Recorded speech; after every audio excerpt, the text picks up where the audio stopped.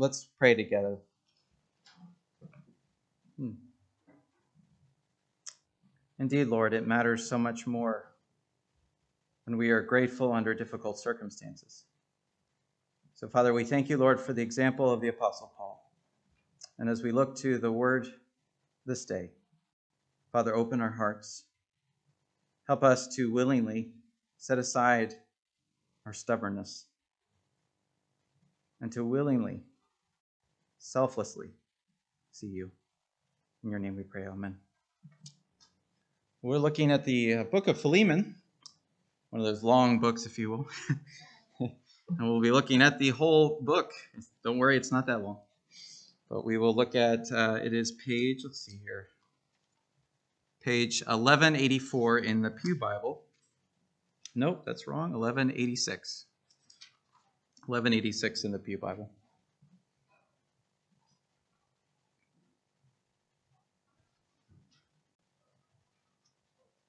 One more time, this is the letter to Philemon.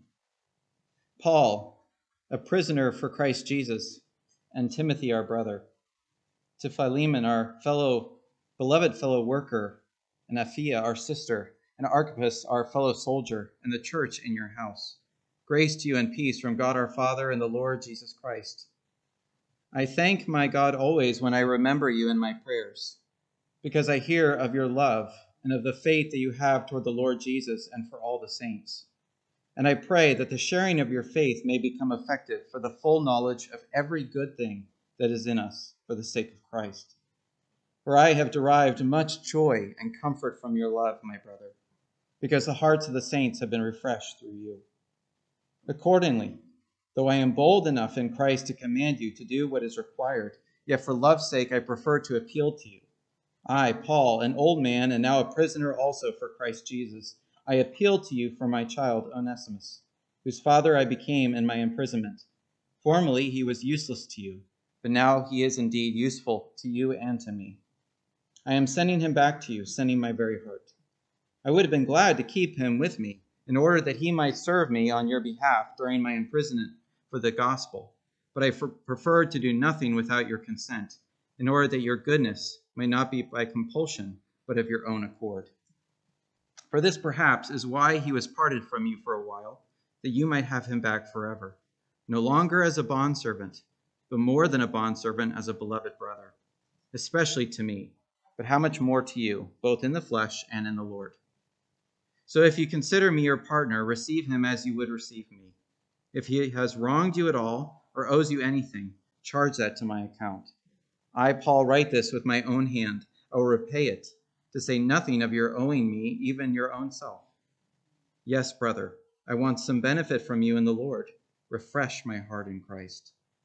Confident of your obedience, I write to you, knowing that you will do even more than I say. At the same time, prepare a guest room for me, for I am hoping that through your prayers I will be graciously given to you. Epaphras, my fellow prisoner in Christ Jesus, sends greetings to you and so do Mark, Aristarchus, Demas, and Luke, my fellow workers. The grace of the Lord Jesus Christ be with your spirit. The celebration of Thanksgiving, Pastor Alistair Begg observes, provides us with an opportunity to remind ourselves that every good and perfect gift comes to us from our Heavenly Father, who doesn't change like shifting shadows. I'm sure many of you can resonate that the circumstances surrounding every Thanksgiving holiday are different. I recall some years where my mom's big Demlo family would gather and we would share a huge feast. The cousins would play touch football while the adults were busy preparing the turkey and trimmings. Certain Thanksgivings, it's easy to express gratitude. But our lives in this fallen world are like shifting shadows. There was the Thanksgiving on Cape Cod that I'll never forget, when our two month old Autumn had her peak day of colic. Nothing seemed to diminish her pain that day, nothing stopped her screaming. For April and I, it was difficult, at least more so, to express our joy when, frankly, we were just too exasperated to eat. But we did express our thanks, because God is greater than every circumstance. Our gratitude means more when doing so takes effort. When doing so takes effort. Even when community fails us, as it sometimes does, does even family, when things go wrong and we find ourselves down, there are so very many reasons to be thankful. Paul, amidst a challenging situation, sets an example for us all of being thankful in hard times. Expressing thanks does more than encourage, it humanizes children of God. Expressing thanks does more than encourage, it humanizes fellow children of God. Paul models that corporate and individual thankfulness is appropriate. While Paul certainly considered himself a prisoner for Christ, in the context of this letter to Philemon, he is literally a prisoner. Suffering in Rome at this time, Paul's circumstances are just as significant and no less trying than Onesimus. Prison conditions at that time were deplorable. They were filthy, and being largely underground, they were poorly ventilated. They were designed to psychologically and physically torture a prisoner into confessing a crime. It would be at least understandable if Paul had a hard time finding cause for thanksgiving. But is that what we find? Not in the slightest. Not in the slightest. One of my family pastimes was watching a Charlie Brown Thanksgiving and then, of course, a Charlie Brown Christmas around this time every year. There's actually a Peanuts cartoon once that showed Charlie Brown uh, giving Snoopy his dinner on Thanksgiving Day. And unfortunately for Snoopy, it was just his usual dog food. Snoopy looked at his bowl and said, This isn't fair. the rest of the world today is eating turkey with all its trimmings, and all I get is dog food. Because I'm a dog, all I get is dog food. He stared at his food for a while, looking rather glum, and then he kind of smirked and said, I guess it could be worse. I could be a turkey. Indeed, instead of focusing on the circumstances, Paul recognized a divine appointment was right in front of him. This slave turned brother Christian convert not only provided comfort to Paul, but set him on a mission where expressing gratitude was going to be a key. Now, as we read verses 4 to 7, you may have noticed that there is great, great similarity to Paul's thanksgiving in the book of Colossians, chapter 1, verses 3 to 8. Listen closely to Colossians 1, verses 3 to 8. Notice the similarities. Paul writes, We always thank God, the Father of our Lord Jesus Christ, when we pray for you, because we have heard of your faith in Christ Jesus and of the love you have for all God's people. The faith and love that spring from the hope stored up for you in heaven and about which you have already heard in the true message of the gospel that has come to you. In the same way, the gospel is bearing fruit and growing throughout the whole world, just as it has been doing among you since the day you heard it and truly understood God's grace. You learned it from Epaphras, our dear fellow servant, who is a faithful minister of Christ on our behalf, and who also told us of your love in the Spirit. So, did you hear some similarity? Yeah, well, let's look at two overarching insights between these two. First, Paul, the author of both of these letters, prayed with a thankful heart, and thus he fostered love for Philemon with prayers of thankfulness. How did he grow in his love for Philemon? Because he prayed with thanksgiving. As a mentor told me this wonderful insight, sometimes you are the answer to your prayers. Be the answer to your prayers for someone else. Thankfulness was embedded within him, regardless of circumstances. Second, that in his apostolic concern for the well being of a whole church like the one in Colossae, Paul did not hesitate to also encourage and to see individuals. We see this in the building up of Epaphras as a witness in Colossae of his love. And it is of great emphasis here in the letter to Philemon. What further stands out is how Philemon comforted Paul in his afflictions. Not only had Philemon brought the apostle joy, but Paul amplifies this with the using the adjective much or great. It was great joy to see and to be blessed by the news of Philemon. He even speaks of Philemon as an encouragement because of how Philemon had refreshed the saints using the word for the seat of emotions.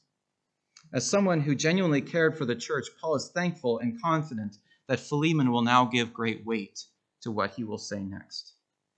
Indeed, by expressing thanks, Paul humanizes Onesimus and defies slavery. Certainly, Philemon did it to himself by owning a slave. At the same time, Paul put him in a difficult situation. You see, in honor oriented Greco Roman society, slaves were economic property, executed at the whim of the head of household. And while male household slaves were generally treated better, Rebecca McLaughlin observes rightly how, according to Roman laws, Philemon could have branded Onesimus, deliberately broken his joints, or administered some other form of punishment because he had run away. Would Philemon set an example of Onesimus for other slaves in the vicinity, or would he do the Christ honoring practice of extending mercy, right, and love, and seeing him as a person? You see, this was no small question as the church entered into the world and as it was penetrating cultures. Now, personally, we've had this conversation, Pastor Alex and I, are, of what draws us and makes a friend. And I would say, in my experience, it has often been someone who stands out in the crowd, something like thoughtfulness and friendliness.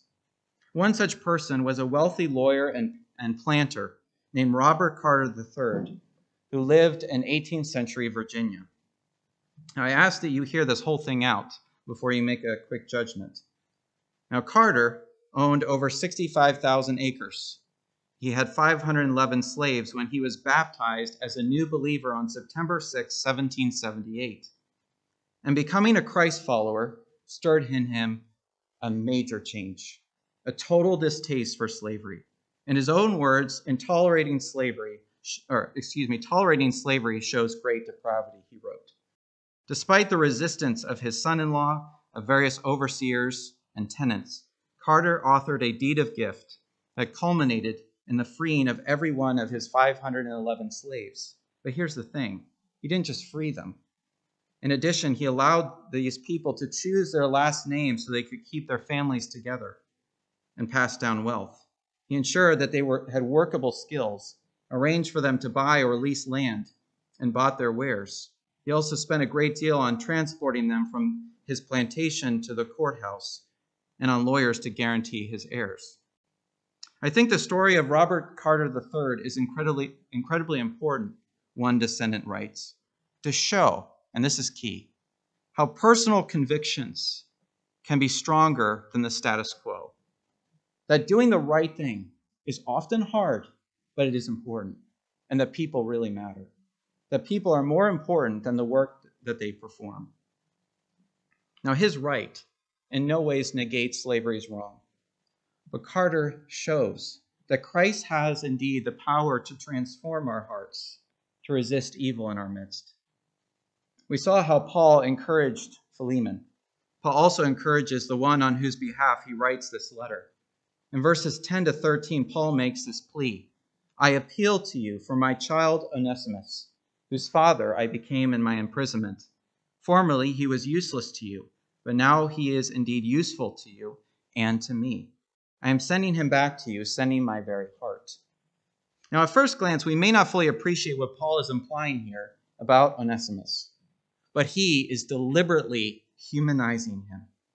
While in the Roman familia, he's no more than belligerent property, to Paul, Onesimus is a child. And even more, He's a son. Such a statement would certainly have caught Philemon's attention. But he even goes further. He talks of him as being his very heart. His very heart.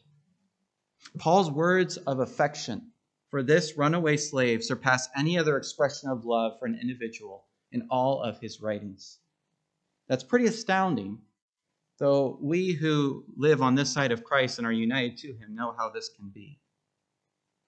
The lesson is that in praising and valuing Onesimus, Paul defies the institution of slavery. And the lesson for us is that when we humanize, the world dehumanize, the world has dehumanized, but we are called to humanize. Brothers and sisters, myself included, if we are going to see victory over sex trafficking, we must humanize those whom the world has dehumanized. If we are going to see victory over poverty, we must humanize those whom the world has dehumanized. And yes, if we are going to see victory over gender dysphoria, we must humanize and value both sexes as intrinsically valued and determined by God alone. And this we must do directly with truth and in love. Importantly, Paul's encouraging appeal is genuine. This statement stems from a question I thought about as I read this letter. And the question is In what manner was Paul appealing to Philemon? Specifically, was Paul using flattery as a means of appealing to Philemon? Was Paul manipulating him? We've established that Paul deeply cared for both of these men as brothers in the Lord. Would such circumstances warrant deceit if it meant the betterment of one? Well, as we look at Paul's words, we should share in the conclusion that no, that the apostle was not in any way underhanded, nor was he deceitful. For one, as Gabe Nelson was sharing yesterday and mentioning the philosophy of Nietzsche, there was very little in it for Paul to free Onesimus. Empowerment could not have been his motivation, nor selfish desire. But there are other hints as to the genuineness of this encouragement. For one, Paul is specific toward Philemon.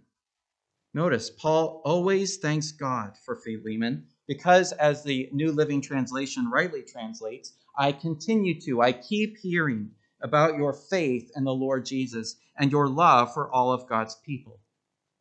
Such statement stresses Philemon's consistent character. He had faith and he had love, right? In verse 6, Paul refers to Philemon's sharing of the faith using the word koinonia. This word is associated with fellowship, of participating in the lives of the faithful ones. Philemon practiced what we call the ministry of showing up. He went to church, but he didn't just show, he served the Lord and he loved all of the saints, not just the ones he was comfortable with. He was an active, present, and pleasant member of the congregation. Some even suggest that he was the leader. Paul is thus recognizing here a specific gift that Philemon brought to the church body. The second thing that we see, that Paul is gentle toward Philemon. Consider, if you will, verses 8 and 9. He says, Though I am bold enough in Christ to com- command you to do what is required, yet for love's sake I prefer to appeal to you. The apostle indicates that he has the clout and the authority to speak freely with absolute confidence to Philemon. He's an apostle. He had that authority. He could tell him exactly what to do and expect it to be done. This noun often conveyed a note of unexpected boldness, very much like what we see repeatedly from Paul in 2 Corinthians. Such word choice was used by Paul only when the situation was most dire, was most serious, that it called for apostolic authority.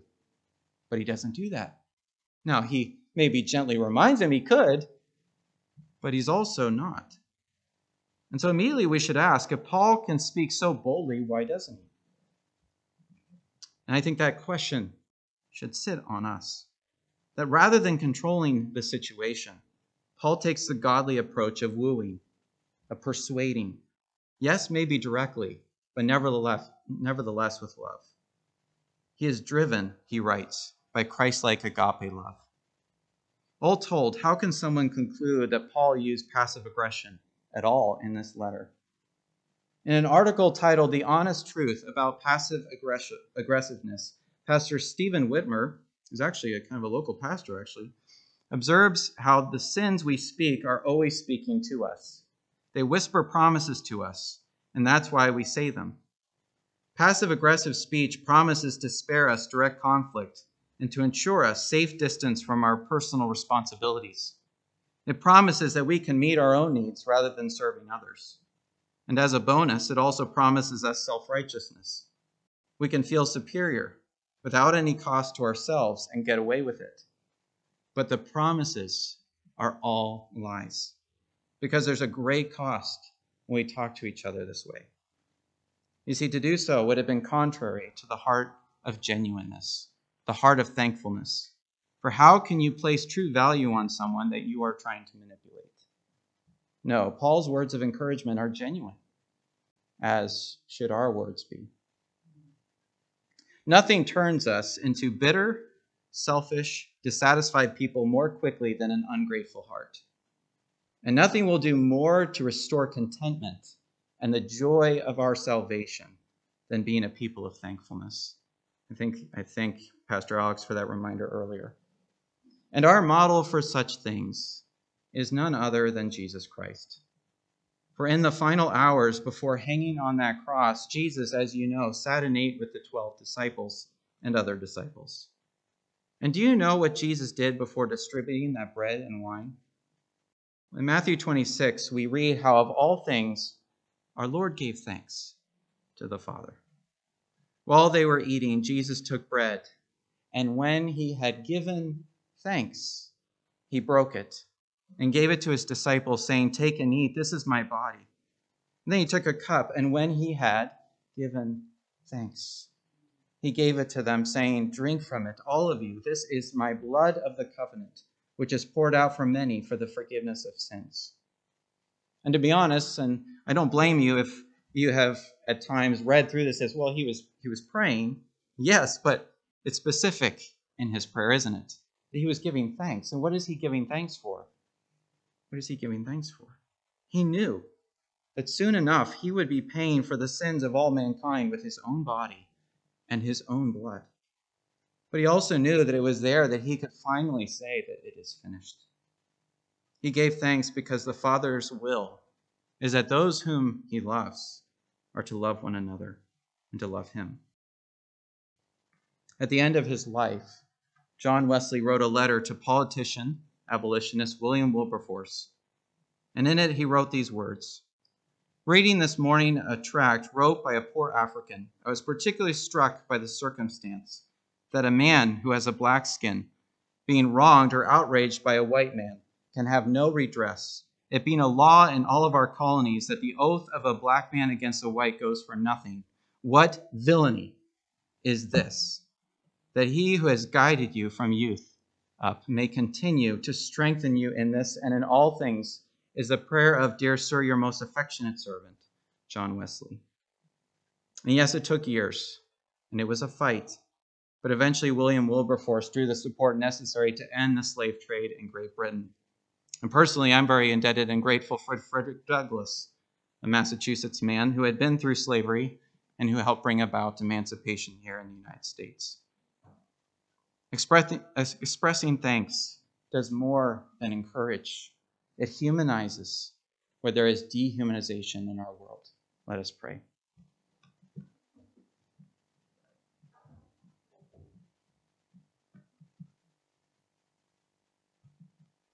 Father, we may think that's old news, but the reality is if we are listening and if we have our eyes attuned to our culture, there is dehumanizing going on all around us. Father, forgive us of these things. Help us to see that we are a people who are wonderfully and fearfully made. Help us to know that because of Jesus Christ, we are made useful. The name Onesimus means useful. And I don't believe it was an accident. I think it was Paul bringing up his dry sense of humor to say that that who was once useless has been made useful. Lord, thank you that you make us useful, that you make us new, that you change our hearts of stone into hearts of flesh. And thank you, Lord Jesus. Amen. You know, I don't have any secret knowledge or any way of telling you with absolute assurance what Philemon did. But I'm pretty confident, with the faith that God has granted to me, that Philemon did the right thing, that he extended mercy to Onesimus, and that the church was all the better for it. You see, brothers and sisters, when we express thankfulness, when we see each other and we value each other as esteemed in the Lord, we do more than just simply encourage. We humanize. And you never know what your brother or sister is going through, that that timely word may be the difference between life and death. Go in peace. Amen.